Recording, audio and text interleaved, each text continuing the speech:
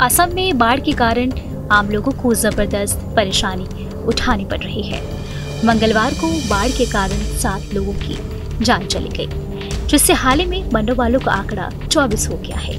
यहाँ नौ जिलों में चार दशमलव तेईस लाख लोग प्रभावित हुए हैं। एनडीआरएफ और एसडीआरएफ की टीमें प्रभावित लोगों को सुरक्षित स्थानों पर पहुँचाने में जुटी हुई बता दें कि एएसडीएमए की दैनिक बाढ़ रिपोर्ट के अनुसार बाढ़ के कारण सोनाई में चार और कछार ज़िले के सिल्टा राजस्व मंडल में एक व्यक्ति की मौत हो गई। इसके साथ ही इस साल राज्य में बाढ़, भूस्खलन व तूफ़ान में जान गंवाने वालों की संख्या बढ़कर तीस हो गई है। सरकार पूरे नुकसान की समीक्षा में जुटी हुई है। ऐसे में बाढ़ से सबसे ज़्यादा प्रभावित हुए हैं ये खास गाँव। रिपोर्ट में कहा गया है कि बाढ़ के कारण राज्य के कछार, धेमाजी, दीमा हसाओ, हेलाकांडी, होजाई, पश्चिम कांडी आंगलोंग और करीमगंज, मोरीगांव और नगांव ज़िले के सबसे ज़्यादा लोग प्रभावित हुए।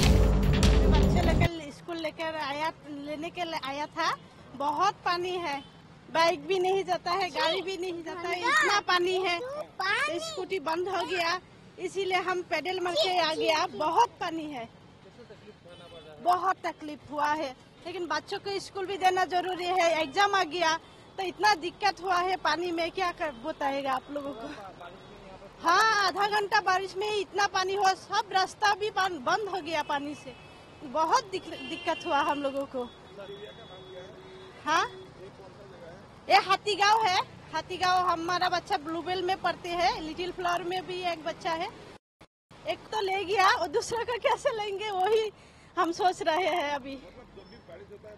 हाँ हाँ जब भी बारिश होता है, तभी इतना पानी हो जाता है। इन जिलों में बाढ़ से प्रभावित लोगों की संख्या चार दशमलव तेईस लाख से अधिक है।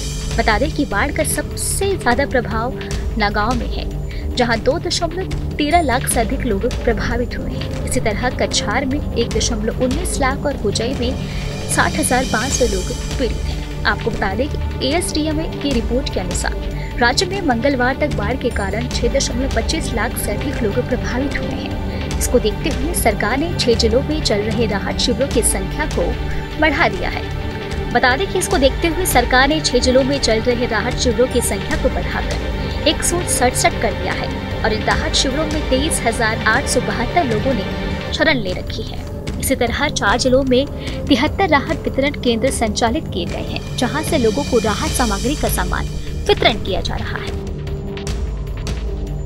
बता दें कि वर्तमान में चार सौ उनसठ गाँव में पानी में डूबे हुए हैं और बाढ़ के कारण सात लाख आठ सौ छियासठ दशमलव शून्य आठ हेक्टेयर क्षेत्र में फैली फ़सल खराब हो गई है। मौरी गाँव, नगांव और कछार में बाढ़ से सड़कें, पुल और अन्य बुनियादी ढांचे भी क्षतिग्रस्त हुए हैं। जानकारी के लिए आपको बता दें कि खतरे के निशान के ऊपर बह रही नदियाँ एएसडीएमए के अनुसार राज्य में भारी बारिश के बाद कोपीली और कुशार नदियाँ विभिन्न स्थानों के खतरे के निशान के ऊपर बह रही है। लोगों को नदियों के किनारे ना जाने पर पाबंदी लगा दी गई है। बाढ़ से अब तक चालीस हज़ार घरेलू जानवर भी प्रभावित हुए हैं। आपको हमारा ये वीडियो कैसा लगा, हमें कमेंट बॉक्स में ज़रूर बताएँ। देश, दुनिया की तमाम और यूपी, उत्तराखंड की हर छोटी बड़ी खबरों के लिए न्यूज़ स्टेट चैनल को सब्सक्राइब करना ना भूलें।